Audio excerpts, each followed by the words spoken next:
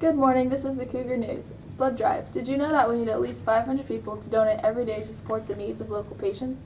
You can make a difference and donate to donate blood this Friday. Sign up in the quad at lunch. You need to be at least 16 years old to participate. Attention all juniors, please join us for an informative presentation on how the SBAC tests you will take in April affects your college placement tests and readiness. This presentation will be held during lunch tomorrow in the library. Please join us at the start of lunch to get this important information. French students, we hope everyone has met Inez and Charles, who are hosted by Kayla Bellamy and Jacob Boggs. We have two more girls from Bordeaux who need host families. They will be here from April 15th to the 28th. Anyone who is interested in this opportunity, please see Ms. Redkebush and C4 at lunch or after school and see their files. Hatch needs student volunteers to work behind the stage at their annual talent show on Friday. You can earn community service hours. If you're interested, call or text Karen at 415-215-5443.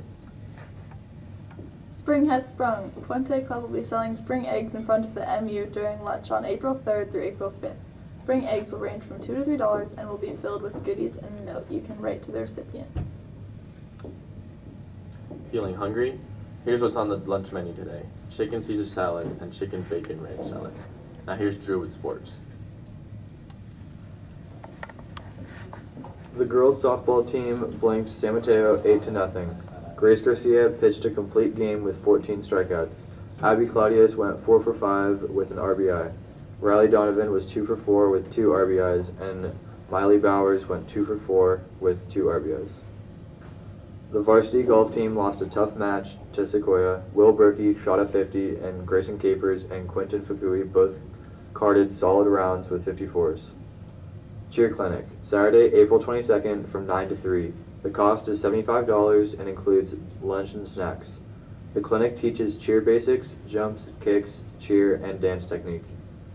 Early release. Please excuse these teams early today. Varsity baseball, 2 p.m. JV baseball, 2:30 p.m. Thanks for watching the campus news and have a great day.